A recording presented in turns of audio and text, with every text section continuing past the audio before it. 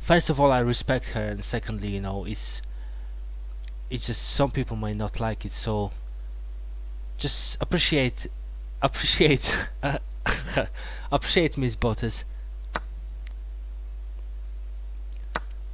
don't be so.